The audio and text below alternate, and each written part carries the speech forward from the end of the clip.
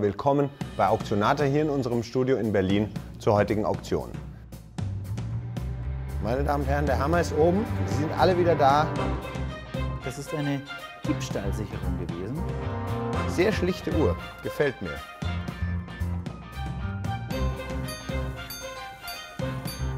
Ein sehr ungewöhnliches Stück, was jede gute Sammlung bereichert.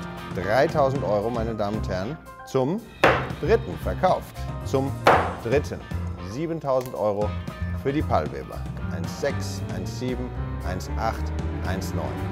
2000. Also wirklich was sehr Besonderes, was man nur noch ganz selten findet.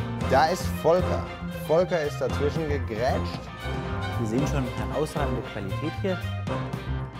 Kommt hier noch was. 7500. 7500. Zum zweiten, zum dritten verkauft. Mit herzlichem Glückwunsch nach Italien.